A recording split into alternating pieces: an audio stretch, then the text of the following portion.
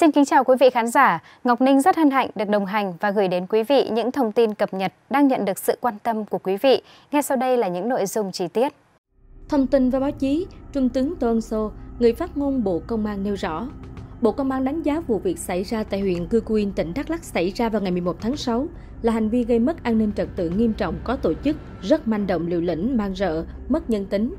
Ông cho biết nhóm đối tượng này đã bắn chết đồng chí bí thư xã Ea Katu, đồng chí chủ tịch xã Ea Tiêu, bốn cán bộ công an, ba người dân, làm bị thương một số người khác. Khi xông vào trụ sở Ủy ban nhân dân xã, chúng đập vỡ cửa kính, bắn cán bộ, tiếp tục dùng vũ khí thô sơ tấn công tước đoạt mạng sống của nạn nhân và ném bom xăng để đốt phá Ủy ban nhân dân xã. Trên đường di chuyển chúng chặn xe, bắn lái xe và người dân khi gặp, tiếp tục có các hành vi mang rợ như đã thực hiện với cán bộ xã, ghi nhận của Cổng Thông tin Chính phủ. Thông tin từ Công an tỉnh Đắk Lắk cho hay, tính đến ngày 17 tháng 6 đã bắt giữ 62 đối tượng, trong số này phần lớn các đối tượng cư ngụ tại huyện Krông Búc, một số đối tượng ở các địa bàn khác trong tỉnh và có đối tượng ngoài tỉnh. Bên cạnh đó, một số đối tượng đã ra đầu thú. Công an cũng thu giữ lượng tăng vật vũ khí gồm 4 khẩu súng quân dụng, 4 khẩu súng tự chế, gần 200 viên đạn, hai quả lựu đạn, dao, hung khí tự chế các loại và nhiều tài liệu tăng vật khác.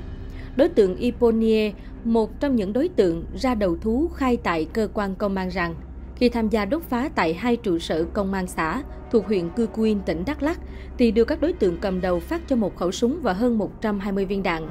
Trong quá trình đó, Iponie đã nổ một phát súng, sau đó chạy lên đập phá hai trụ sở.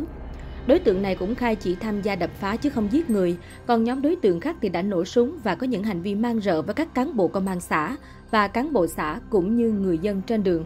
Đồng thời, đối tượng này cũng khai nhận sau khi thực hiện những hành vi giả mang đó đã thực sự hối hận. Trong quá trình chạy trốn thì đối tượng vì biết không thể nào thoát nên đối tượng này đã chủ động mượn điện thoại của người dân gọi điện về cho gia đình và ra đầu thú với cơ quan chức năng. Cũng là đối tượng ra đầu thú, Y Khuít Ayun cũng đã khai với cơ quan chức năng là được chỉ đạo tìm vũ khí và ném bom xăng vào trụ sở công an xã Ea Tiêu. Còn những người khác thì được chỉ đạo là giết người. Thấy người nào trong trụ sở công an là bắn và giết. Sau khi đã bắn hết cán bộ, thì nhóm đối tượng tháo chạy trong rẫy cà phê, mỗi người chạy mỗi ngã. Tuy nhiên trong quá trình trốn chạy, đối tượng Y Khuit Ayun đã nhận ra hành động sai trái của mình, đồng thời biết được có chạy thì cũng không thể nào chạy thoát nên đã ra đầu thú. Y Nhật Pa cũng là đối tượng trong nhóm người tấn công vào trụ sở công an hai xã của huyện Cư Quyên, đã nói đối tượng cầm đầu đã rủ một số người, cả anh em làng xóm họ hàng, đi đập phá của chính quyền nhà nước. Sau khi xong thì mình sợ nên mình tìm cách trốn. Tuy nhiên, mình thấy chạy trốn không được nên mình bảo mấy người khác ra tự thú. Hiện Công an tỉnh Đắk lắc đang phối hợp cùng các cơ quan liên quan để đấu tranh lấy lời khai, làm rõ vai trò từng đối tượng và những người có liên quan. Trung tướng Tôn Sô, người phát ngôn của Bộ Công an cho biết, lực lượng công an đang tiến hành công tác điều tra, xử lý nhanh chóng theo đúng quy định, triển khai đồng bộ các biện pháp loại trừ nguy cơ xảy ra vụ việc tương tự, lợi dụng vụ việc kích động gây mất an ninh trật tự, chỉ đạo ra soát toàn bộ các phương án, bảo đảm tuyệt đối an ninh tại các địa bàn, mục tiêu, lĩnh vực trọng điểm, sẵn sàng lực lượng phương tiện xử lý các tình huống phức tạp phát sinh.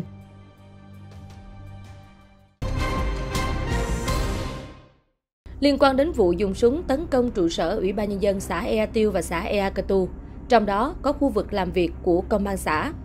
Huyện Cư Quyên, tỉnh Đắk Lắk, sáng 15 tháng 6, ông Võ Tấn Huy, Chủ tịch Ủy ban Nhân dân huyện Cư Quyên cho biết, huyện đã chỉ đạo hai xã khẩn trương khắc phục hậu quả, ổn định đời sống nhân dân. Thông tin từ Cổng Thông tin Điện tử Chính phủ, theo đó, huyện Cư Quyên thành lập ban chỉ đạo do đồng chí Phó Chủ tịch Ủy ban Nhân dân huyện làm trưởng ban xuống địa bàn chỉ đạo trực tiếp các đơn vị khắc phục hậu quả. Trên cơ sở thống kê lại các thiệt hại, huyện sẽ có văn bản báo cáo Sở Tài chính để có phương thức nhanh, thuận lợi nhất, đảm bảo cung cấp trang thiết bị cho các cơ quan đơn vị làm việc đến thời điểm hiện tại. Trụ sở Ủy ban Nhân dân xã Ea Tiêu cơ bản hoàn thành, trụ sở Ủy ban Nhân dân xã Ea Cơ Tu đang tiếp tục khắc phục. Các đơn vị thi công đã khẩn trương triển khai sửa sang sơn sửa.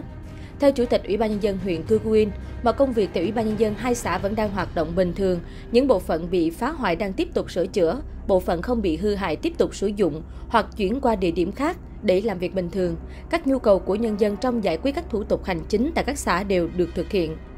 Chủ tịch Ủy ban Nhân dân huyện Cư Quyên thông tin thêm, để điều hành công việc, huyện có chủ trương giao quyền Chủ tịch Ủy ban Nhân dân xã Ea Tiêu cho đồng chí Hồ Viết Hùng, Phó Chủ tịch Thường trực Ủy ban Nhân dân xã Ea Tiêu do Chủ tịch Ủy ban Nhân dân xã Ea Tiêu Nguyễn Văn Dũng đã hy sinh.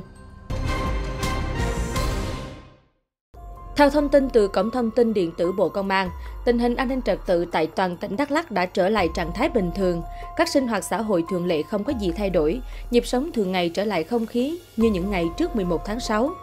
Theo Trung tướng Tân Sô, người phát ngôn Bộ Công an, với tinh thần quyết liệt tấn công truy bắt bằng được, bằng hết các đối tượng gây ra vụ việc, Đến nay, lực lượng công an cùng các đơn vị chức năng, sự hỗ trợ của quần chúng nhân dân đã bắt giữ được 46 đối tượng. Để kiểm soát tình hình an ninh trật tự tại địa bàn, đồng chí Bộ trưởng Bộ Công an, đồng chí Thứ trưởng Lương Tam Quang đã chỉ đạo áp dụng mọi biện pháp cần thiết truy bắt hết số đối tượng gây án đang lẫn trốn, thu giữ toàn bộ vũ khí, vật liệu nổ, đồng thời bảo đảm tuyệt đối an toàn cho người dân và lực lượng tham gia truy bắt tiến hành công tác điều tra xử lý nhanh chóng theo đúng quy định, triển khai đồng bộ các biện pháp loại trừ các nguy cơ xảy ra vụ việc tương tự, lợi dụng vụ việc kích động gây mất an ninh trật tự chỉ đạo ra soát toàn bộ các phương án, bảo đảm tuyệt đối an ninh tại các địa bàn. Mục tiêu, lĩnh vực trọng điểm, sẵn sàng lực lượng phương tiện xử lý các tình huống phức tạp phát sinh.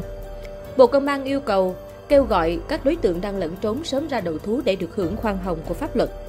Bộ Công an đề nghị người dân tích cực tham gia tố giác tội phạm, cung cấp thông tin chính xác, giúp lực lượng chức năng truy bắt đối tượng, hết sức cảnh giác trước các luận điệu xuyên tạc,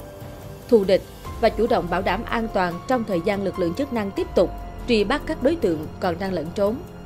Trung tướng Tôn Sô, người phát ngôn Bộ Công an bày tỏ, lực lượng công an nhân dân hết sức trân trọng và cảm ơn đồng bào nhân dân tỉnh Đắk Lắk đã hết lòng ủng hộ giúp đỡ lực lượng công an và các lực lượng chức năng những ngày vừa qua. Những hành động này thể hiện sự tin yêu của người dân dành cho đảng, nhà nước, các lực lượng vũ trang nhân dân, đặc biệt là lực lượng công an nhân dân, thể hiện truyền thống đoàn kết, tinh thần tương thân tương ái, đồng thời cũng cho thấy tính hiệu quả của phong trào toàn dân bảo vệ an ninh Tổ quốc, thế trận lòng dân vững chắc tại địa bàn. Theo Trung tướng Tôn Sô, trong giai đoạn cách mạng, đồng bào các dân tộc Tây Nguyên luôn theo đảng, tin tưởng vào sự lãnh đạo của đảng và có nhiều đóng góp tích cực. Cùng toàn đảng, toàn dân, toàn quân ta đưa cách mạng Việt Nam đi từ thắng lợi này đến thắng lợi khác, xây dựng Tổ quốc Việt Nam xã hội chủ nghĩa, chưa bao giờ có được cơ đồ, tiềm lực, vị thế, uy tín quốc tế như ngày nay. Như Tổng bí thư Nguyễn Phú Trọng từng nói, Lực lượng Công an Nhân dân tin tưởng rằng qua vụ việc này, nhân dân các tỉnh Tây Nguyên sẽ đề cao cảnh giác, tích cực tham gia cùng các lực lượng chức năng đấu tranh phòng chống tội phạm, vô hiệu hóa âm mưu gây mất an ninh trật tự Tây Nguyên, gây chia rẽ khối đại đoàn kết toàn dân tộc của các thế lực thù địch, phản động các loại tội phạm, lấy cái đẹp, dẹp cái xấu, xây dựng Tây Nguyên ngày càng giàu đẹp, đất nước ta sớm phồn vinh, hạnh phúc, theo đúng nghị quyết Đại hội 13 của Đảng đã đề ra.